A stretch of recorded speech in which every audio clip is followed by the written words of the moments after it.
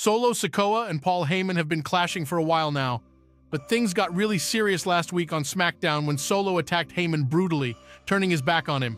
With Heyman now out of the bloodline, it's likely that Solo will bring in someone new to take his place. The new tribal chief might surprise everyone by bringing in a famous WWE legend as the new Wiseman of the bloodline. The name being talked about is Eric Bischoff. For those who don't know, Bischoff and Heyman have a long history, their rivalry started during the WCW ECW days when both wrestling promotions were competing against each other. To make things worse for Paul Heyman, Solo Sikoa might bring in the former WCW boss, Eric Bischoff, and make him the new Wiseman of the Bloodline. This would not only highlight the power struggle between Roman Reigns and Solo Sikoa, but also set up a new rivalry between Heyman and Bischoff, adding more drama to the ongoing story.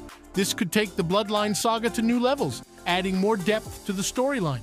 If it happens, it will open a new chapter in the ongoing story.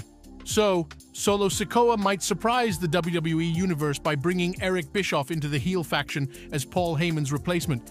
However, this is just speculation for now. We'll have to wait and see how things develop in the coming weeks, especially after the Bloodline's attack on Paul Heyman. Solo Sikoa has been leading the Bloodline while Roman Reigns is away, for weeks, he has been pretending to work for the former undisputed WWE Universal Champion.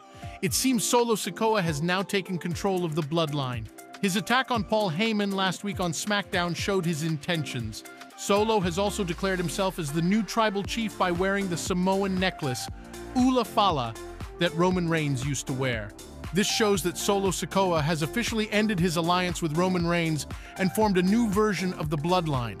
He might publicly call out Reigns on SmackDown in the coming weeks, leading to a civil war. Sikoa might officially challenge the former undisputed WWE Universal Champion, which could lead to the much anticipated return of Roman Reigns.